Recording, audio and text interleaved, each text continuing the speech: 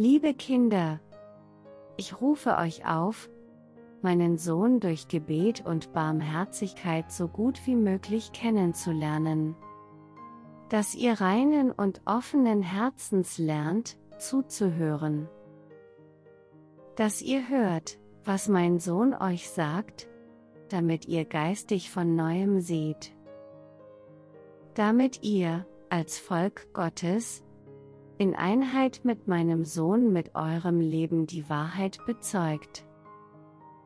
Betet, meine Kinder, dass ihr gemeinsam mit meinem Sohn all euren Brüdern und Schwestern nur den Frieden, die Freude und die Liebe bringen könnt.